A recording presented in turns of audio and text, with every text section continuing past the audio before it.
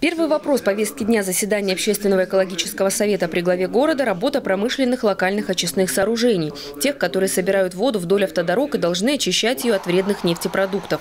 Сегодня эти лосы должным образом не эксплуатируются. Неочищенные стоки попадают в море и наносят большой вред экологии. Задача ближайшего времени – провести их инвентаризацию.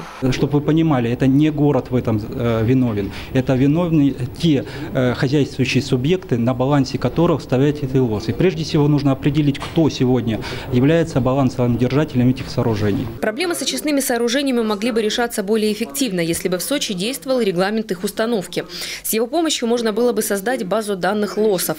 Проект документа уже разработали общественники. Глава Сочи инициативу поддержал и отметил, город рассчитывает на помощь таких активистов. Вопросом мог бы заняться в том числе недавно созданный на курорте народный контроль. Я считаю, что просто необходим большая секция в каждом районе, которая будет следить за экологией, выявлять, хотя бы э, ну, сделать первоначальные протоколы и подключая уже природоохранных значит, э, работников, в том числе и природоохранную прокуратуру, для того, чтобы понудить это делать. Как только это системно заработает, все, все начнут об этом задумываться. Активно подключиться жители курорта должны к борьбе с вредителями зеленых насаждений. Владельцы частных домов на своих участках должны начать обработку растений.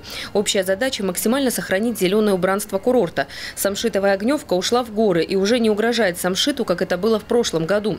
Угроза сегодняшнего дня – вредители пальм и эвкалипта. У нас сегодня предполагается одним из решений сегодняшнего заседания Общественно-экологического совета – это инициация нулевых чтений в общественной палате а, с целью включения шести видов новых вредителей в список карантинных объектов, в перечень карантинных объектов Российской Федерации. Таким образом, город получит рычаги давления на собственников территории для того, чтобы они проводили своевременную обработку растений, заключали договоры со специализированными организациями. Ведь на кону уникальное субтропическое убранство города. К слову, только за последние три года в Сочи зарегистрировано 25 видов новых для курорта вредителей. 10 из них новые и для России.